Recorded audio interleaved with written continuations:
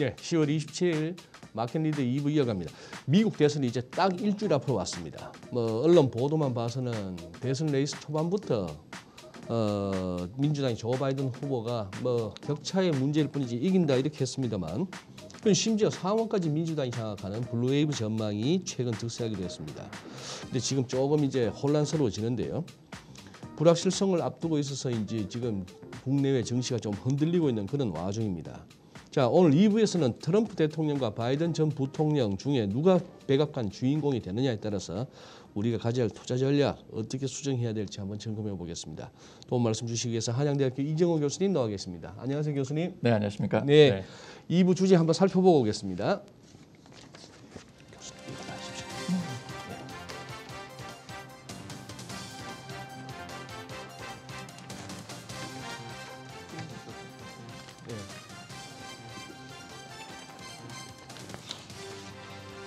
네네. 선거 결과에 따라서 또 달라질 산업 판도, 뭐 금리 정시 외환 및 국내 경제 예상 시나리오까지 한번 다뤄볼까 합니다. 자 교수님, 뭐 이거 조금만 기다려 보면 답은 나오는데 그래도 한번 여쭤보고 싶습니다. 뭐 교수님도 그냥 뭐 언론 보도대로 그냥 바이든 후, 승으로 보십니까? 아니면 네, 뭐 변수가 있습니까? 네. 그 지난번 선거 때 네. 대부분의 이제 힐러리 후보가 당선될 거라고 생각했을 때 제가 예. 한번 모 방송국에 나가서 한 일주일 전에 예측을 했는데 뭐 우연히 제가 맞았어요. 저는 트럼프를 어, 선택을 했는데 네. 그 원인 중에 하나가 이제 그때는 변화를 원했던 겁니다. 그랬죠. 시장이 변화를 원하고 그런 지지부진한 민주당의 태도에 대해서 공화당이 어떤 적극적인 결정력을 내릴 수 있는 후보 네. 그리고 어, 미국이 세계 경찰로서 돈을 많이 쓰고 상대적으로 미국 국민들은 좀 안 좋은 경제 상황이었다. 네네. 그런 거에 대해서는 변화의 욕구가 있었고 트럼프가 그거를 잘 만족한 건데 네. 그럼 바꿔 말해서 지금 상태를 한번 보죠. 그때 말했던 그런 변화가 지금도 굉장히 많이 요구를 하고 있느냐 유권자들이 음. 어, 저는 그렇게 생각하지는 않습니다. 지금 변화를 어, 요구하기보다는 지금 현재 상황을 지금 코로나란 예상치 않은 상황이 왔는데 네. 그건 어쩔 수 없는 상황이지만은 예. 지금 현재 어, 트럼프 행정부가 한 모든 것을 뒤집고 새로운 변화를 원하는 그런 유권자의 욕망이 있느냐? 뭐 저는 그렇게 보지는 않고요. 음. 두 번째로 경제 상황인데 네. 어쨌든 간에 기업 코퍼레 텍스라든가 이 법인세를 많이 낮춰가지고 기업이 도움을 줬고 실업률을 낮췄습니다. 네. 근데 그게 변해서 지금 조 바이든 후보의 어떤 정책이라는 건 다시 법인세를 올리겠다는 거거든요. 예. 네, 그렇게 보면은 실질적으로 경제를 하는 사람이나 기업 하는 사람들 입장에서는 조 바이든보다는 트럼프 후보를 좀 더 좋아할 수도 있고 이런 사람들이 대다수의 어떤 목소리를 크게 내지 않는 샤이 트럼프 음. 어떤 아직 나오지 않는 트럼프 지지자들이라고 저는 생각을 하고 있습니다. 예. 그 반면에 지금 이제 코로나 사태에 대해서 이제 굉장히 그 예, 트럼프가 못했다고 하고 있는데 미국 정서는 어떤 약자에 대해서 비난하는 것을 잘 하지 않습니다.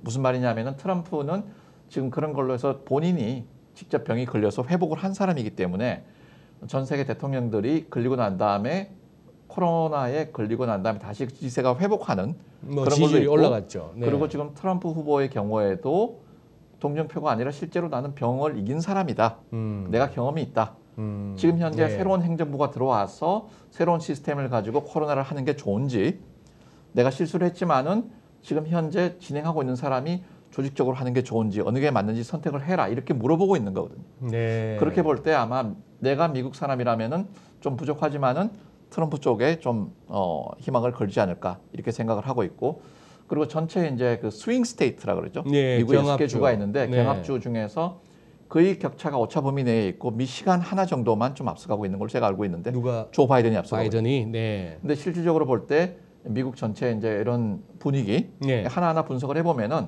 지금 그렇습니다. 코로나 대유행의 추이 이건 제가 말씀드린 거가 있고 그러면 사- 교수님 네네. 보시기에 코로나가 지금 미국에서 뭐 유럽은 더 난립니다만 미국에서 코로나가 다시 확 번지고 있는 이게 트럼프 대통령한테 뭐 꼭 불리한 건 아닌 걸로 보시는 거네요. 네, 이게 만약에 미국만 그렇게 있었다 아, 그러면은 아, 굉장히 네, 불리하겠지만은 네. 음. 초기 상태에서 이제 음. 물론 좀 더 잘하면 되지 않았느냐 이런 게 음. 많이 비난이 있습니다. 어, 22만 명이 죽고 하기 때문에 네. 그렇지만은 지금 어떤 새로운 시스템, 새로운 행정부가 들어와서 새로운 방법으로 코로나를 이길 수 있는 방법이 있느냐? 음, 제가 조 바이든과 트럼프 대통령의 그 토론을 봤는데 예. 조 바이든의 워딩은 자기가 전략적인 방법을 내놓겠다 이 정도 워딩이었어요. 코- 코로나에 대해서 말만 그렇지 뭐. 네, 그래서 전략 구체적으로. 네. 전략이 보이지 않았기 때문에 마스크 쓰는 거 지금. 이제 트럼프 같은 경우는 좀 어떻게 보면은 좀 무지하게 말하는 건지 모르지만은 1억 병의 그런 백신을 군대를 동원해서라도 내가 다시 뿌리겠다 네. 이렇게 했기 때문에 네. 미 유권자들의 입장에서는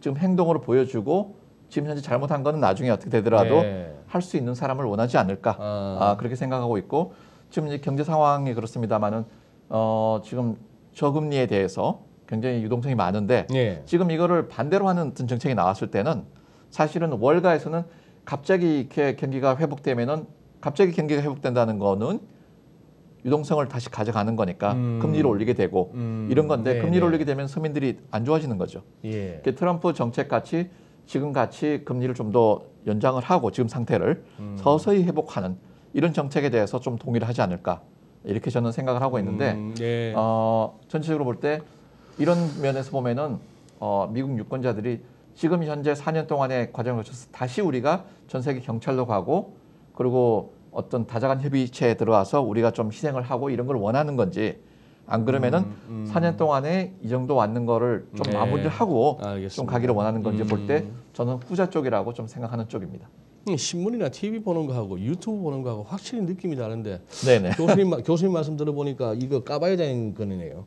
그것도 그거지만 지금 상원 100석 가운데 35석이 이번 이제 뭐 하원과 더불어서 또 바뀌게 됩니다. 근데 이게 이른바 지금 전에 오바마 때는 오바마 대통령은 민주당이었습니다만 그때 하원을 공화당이 장악했고 네네. 그래서 오바마 때도 뭐 되는 게 없었고요.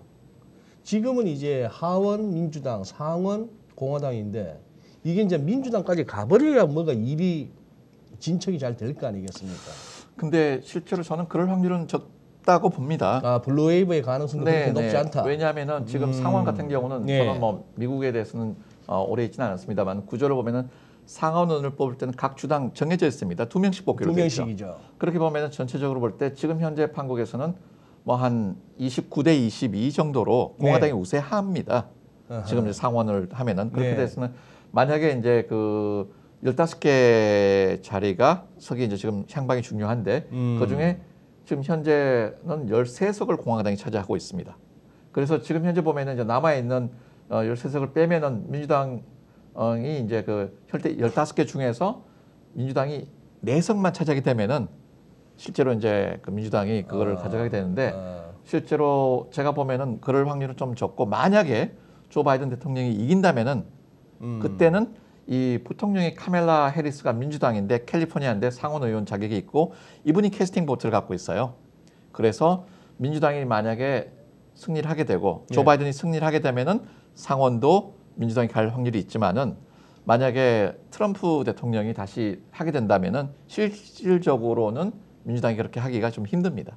아, 아, 아. 그리고 이제 그 아, 아, 아, 아, 그 카멀라 해리스 캐스팅 보트라는 얘기가 바이든이 이겨서 카멀라가 해리스가 이제 부통령으로 가버리면 그 상원 의원 자리를 맞습니다. 아, 네네. 또 네, 자기 그렇게 민주당 해서. 쪽으로 꼬- 꽂을 수가 있다. 네네. 그래서 지금 이제 아, 그. 어떻게 보면은 15개 중에서 13개 자리를 공화당이 차지하고 있고 네. 네. 자리만 차지하면 되지 않느냐 하지만은 네. 실질적으로 볼 때 상원 의원이랑은 각 주당 두 명씩 나오는데 음. 현재 지금 어, 그림을 보면은 공화당이 좀 앞서고 있습니다. 예. 그래서 어, 균형 이런 걸 볼 때 어, 실질적으로 뭐 민주당 조 바이든이 이기지 않는 한 상원이 민주당으로 가는 거는 전 확률이 좀 적다 음. 예. 이렇게 보고 있습니다.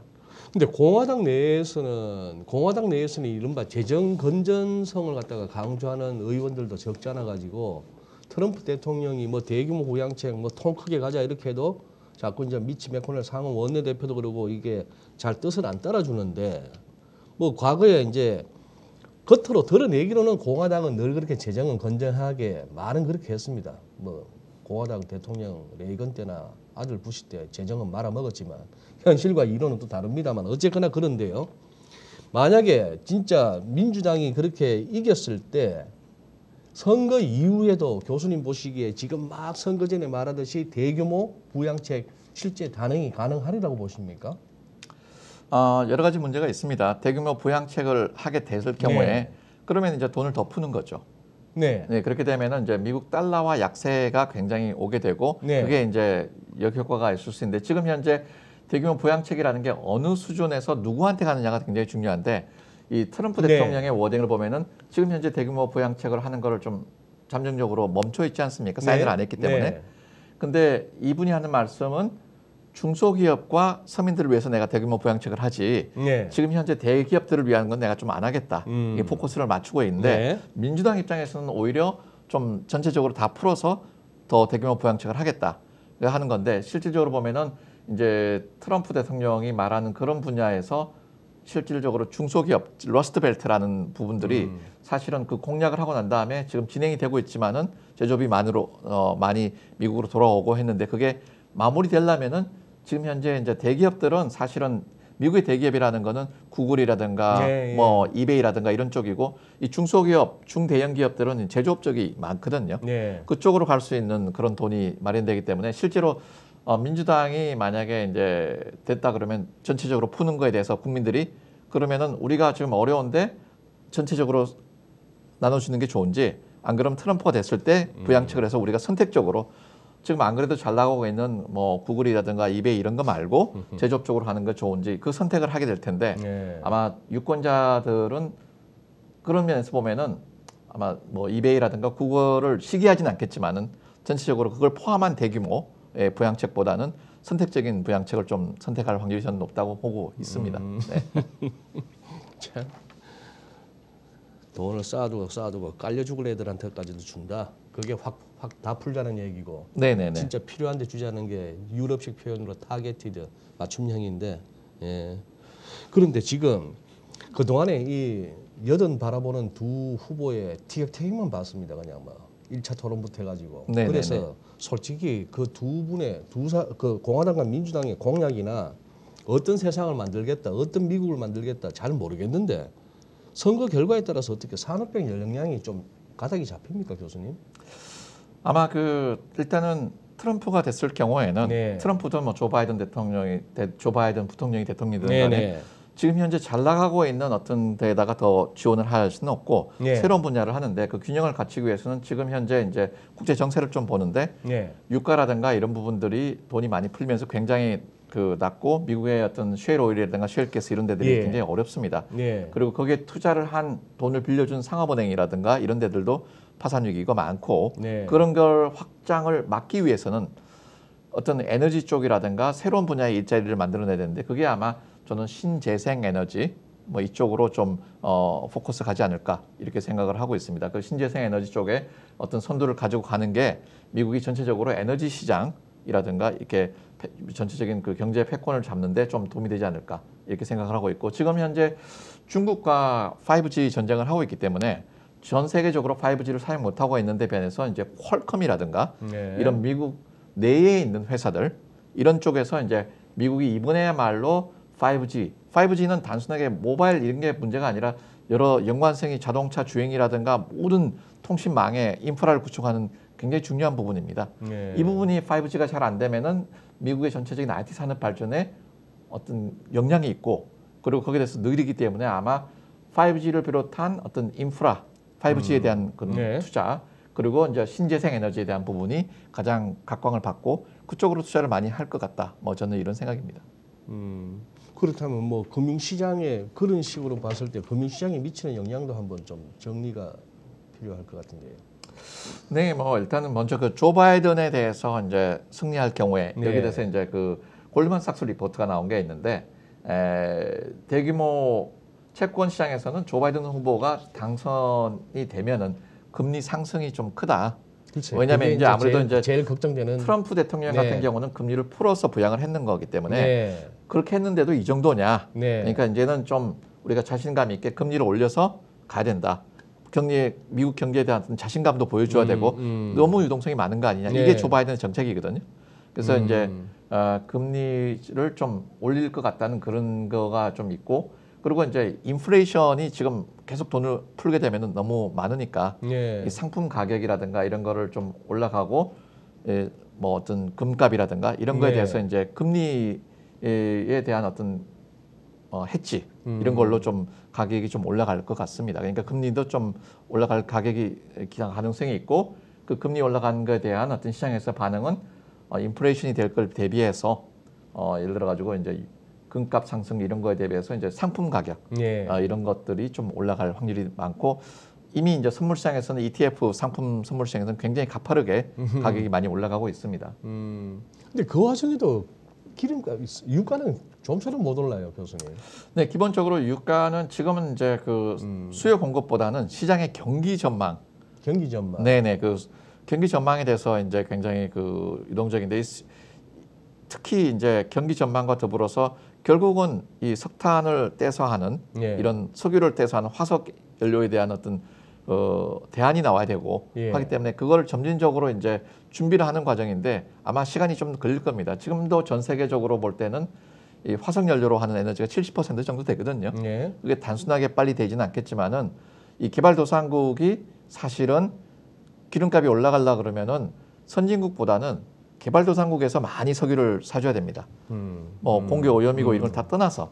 근데 개발도상국이 예. 어, 성장을 하려면은 개발도상국의 가장 상대적인 나라는 EU라든가 특히 미국의 경기가 좋아져야지 개발도상국의 어떤 수출 수출 물품을 사주고 예. 이렇게 되는 건데 지금 현재 이제 미국 경기가 나쁘지는 않지만 그렇게 썩 좋은 것도 아니기 때문에 네. 지금 개발도상국 또 그 특히 이제 원유를 생산하는 러시아, 브라질 이런 데들이 실제로 이제 요 원유를 제공을 해서 할 수 있는 그런 어, 한계가 많고 개발도상국의 바이어들이죠. 네, 그런 네, 바이어들이 네. 이제 네. 아무래도 이제 수요가 적다는 게 가장 음. 큰 문제고 중장기적으로 볼 때는 어, 아무래도 이제 선진국에서 새로운 어떤 신재생 에너지라든가 이런 거를 하고 예. 우리나라 같은 경우는 이제 어, 선진국과 중진국 중간 정도인데 우리나라도 신재생 에너지 투자를 많이 하고 있기 때문에 점진적으로는 이 석유에 대한 수요가 좀 줄어들 것 같은데 절대적인 수요 아마 이제 선진국과 우리 개발도상국 후진국의 차이가 있는데 그 후진국이 사용해야 되는 절대적인 수요 면에서 보면은 어, 석유 가격은 어느 정도는 좀 지켜질 텐데 그게 갑자기 올라갈 수는 없는 그런 음, 상황입니다. 그런, 네. 예. 뭐 거의 어쨌거나 그, 사, 그 배럴당 40불이라는 게 굉장히 좀 요즘은 이제 크리티컬해지면서 잘 그 위에서 뭐, 오래 머물지를 못하는 묘한 그거는 아무래도 이제 우리 그 앵커께서도 잘 아시겠습니다만은 상대적인 건데 미국의 셰일오일 가스라든가 음, 이런 게 워낙에. 생산 단가가 네, 네. 40에서 45불인데 예. 그거보다 밑에 있어야지 이제 컨트롤 할 수 있기 때문에 아. 그 위로 이제 뭐 가면은 아마 셰일오일 가스를 다시 하겠죠. 음, 네, 음, 그런 또, 면이 또, 있습니다. 또, 또. 부분에는 음. 그러면 마지막 질문입니다, 교수님. 네네. 저기 우리나라 입장에서 뭐 국가 안보, 외교, 뭐 경제 측면에서 지금 이번 미국 대선 솔직히 뭐 좀 달라지지 않을까요? 트럼프 체제 그대로 4년 더 가는 거하고 바이든으로의 정권 교체하고 아무래도 이제 우리나라는 경제적으로 볼 때는 그 환율에 대한 부분이 제일 큰데요. 네. 네네. 아까도 말씀드렸습니다만은 이제 어, 이 단기적으로는 트럼프가 되든 바이든 되든 간에 좀 어, 좀 경기 부양책을 쓸 거는 같습니다. 근데 네. 선택적인 거냐 아니면 전체적인 거냐 네. 이게 따라 다른데 그렇게 되면은 이제 돈을 좀 더 풀게 되고 예. 우리나라는 어, 환율 면에서는 좀 더 일부 그 예측 기관에서는 1,100원대까지도 보고 있는 것 같습니다. 어, 음, 바이든이 네, 될 네. 경우에는 더 많이 풀 거이기 때문에 트럼프가 될 1100원 뭐 지금 뭐지 않았습니다. 지금 뭐 1120원, 30원 이러고 네, 네, 있으니까. 네. 그래서 이제 트럼프가 될 경우에는 뭐 그 1,100원 밑으로 가는 건 아니겠지만은 음. 될 경우에는 아마 그 밑으로도 갈 수 있지 않나 뭐 이렇게 좀 어, 아, 보는 데가 있고. 네. 그리고 이제 그 어, 국가 어, 외교적으로 볼 때는 아무래도 지금 이제 북한 문제 네, 토론에서 네. 가장 핫했는데 네. 북한 문제 같은 경우는 실제적으로 트럼프 대통령이 지금 현재 이제 내세우고 있는 게 자기가 당선되고 난 다음에 북한이 아주 심각한 어떤 범죄 국제적인 범죄 행위 음. 어, 핵 실험을 한다든가 이런 건 안 한 거 아닙니까? 음. 그래서 지금 예. 현재 이제 폐기는 안 했지만은 지금 상태 더 나빠지진 않았다. 음. 점진적으로 하겠다는 쪽에 유권자들이 할 건지 아하.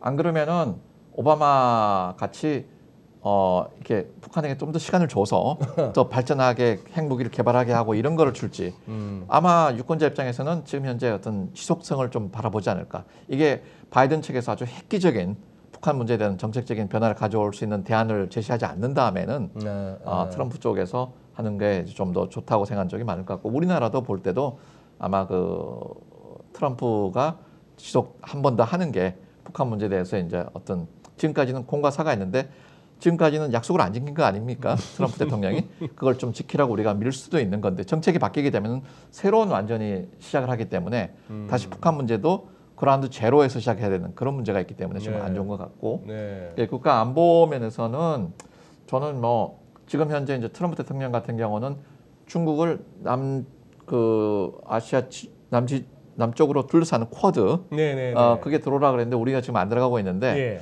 아마 그거에 대해서 일본 같은 경우는 뭐 그런 쪽에 안 들어가지만 자기 독자적으로 하겠다 음. 이렇게 해서 이제 뭐 하고 했다가 지금 쿼드 들어가 있는데 우리나라에 대한 압박이 좀 강할 것 같고 그게 따라서 이제 우리가 이제 그 주한 미군에 대한 비용을 하는 부분도 좀 상대적으로 트레이드가 되지 않을까 아마 좀 저는 그렇게 보고 있습니다. 그래서 음. 아마 어, 주한 미군에 대한 어떤 비용이라든가 이런 거는 우리나라가 미국이 차지하고 있는 어떤 그 중국을 둘러싸는 그런 남지중 남쪽의 그 어, 어, 망, 쿼드 음. 이런 쪽에 들어가느냐 안 들어가느냐에 따라서 좀 달라질 것 같습니다. 그래서 우리 같은 경우는 이제 국가 안보적인 측면에서는 우리가 오히려 좀 캐스팅 보트를 잡지 않을까 뭐 이렇게 저는 좀 생각을 하고 있습니다. 네. 예.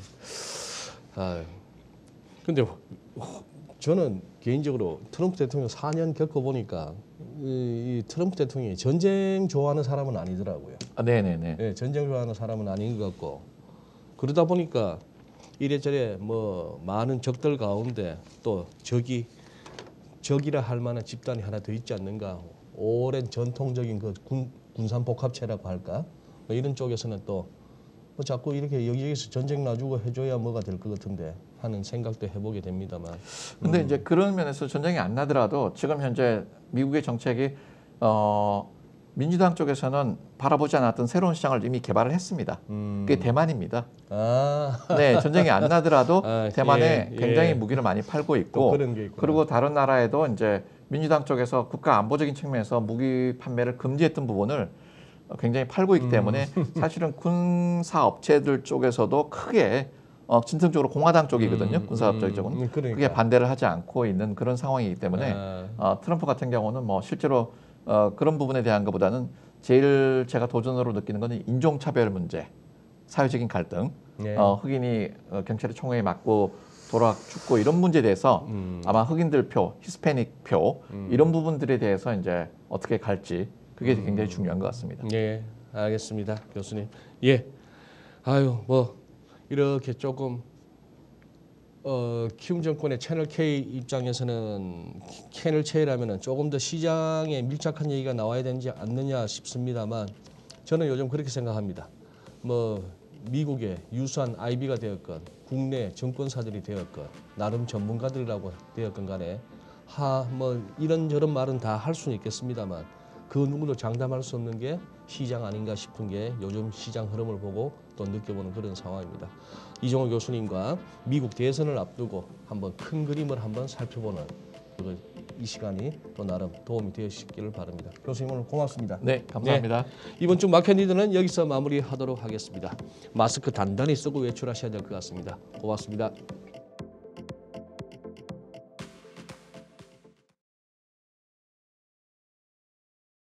키움으로 해외 주식 옮기고 거래하면 최대 30만 원 드려요. 본 영상이 마음에 드셨다면 구독 부탁드립니다. 요즘 사람들이 키움증권에서 펀드 사는 이유. 누구나 선취 판매 수수료 0원.